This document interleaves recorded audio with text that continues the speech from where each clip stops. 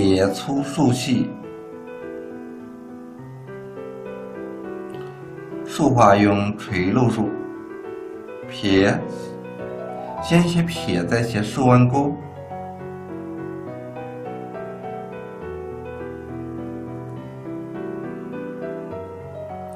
注意拐弯的地方要自然，竖要细，横过来要粗，内圆外方，注意的空间留出了大一点。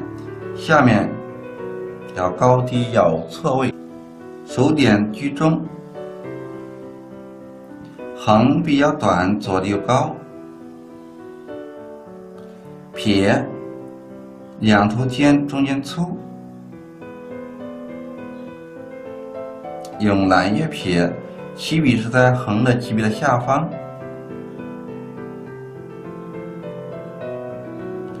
这两个横长短要有变化。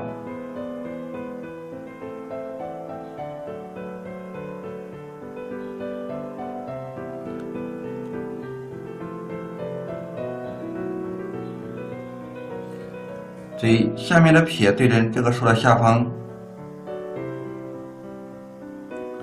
蜡笔用反蜡由轻到重，向右下方伸展出去，要稍微长一点，所以宽窄形成对比，这个相对要平，这要直一点。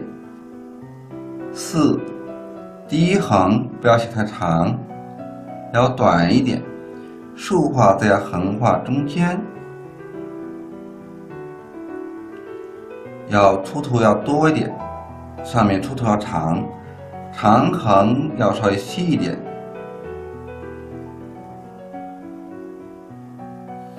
下面这个横，注意长短，三个横长短是不一样的，是最短的，这是最长的。竖钩要垂直。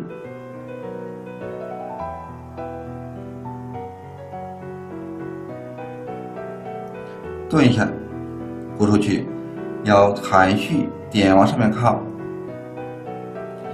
横与横的间距基本相等，竖钩上面短，下面长，上紧下松春，横画，左低右高，向右上方斜行笔，三个横都不要写太长。突出撇捺，撇然后先向下垂直，再注意捺笔向右下方伸展，要稍微长一点。日子尽量往左上方靠，不要写太宽，横折。